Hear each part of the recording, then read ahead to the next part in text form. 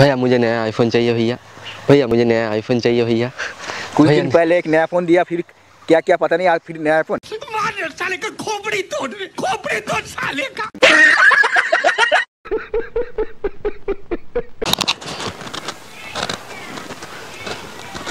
भैया मुझे नया आईफोन चाहिए। भैया मुझे नया आईफोन चाहिए। एक बार मार खा के भी कुछ नहीं हुआ फिर फिर आईफोन चाहिए। कौन है ये लोग? कहाँ से आते हैं 嗯哈哈哈哈哈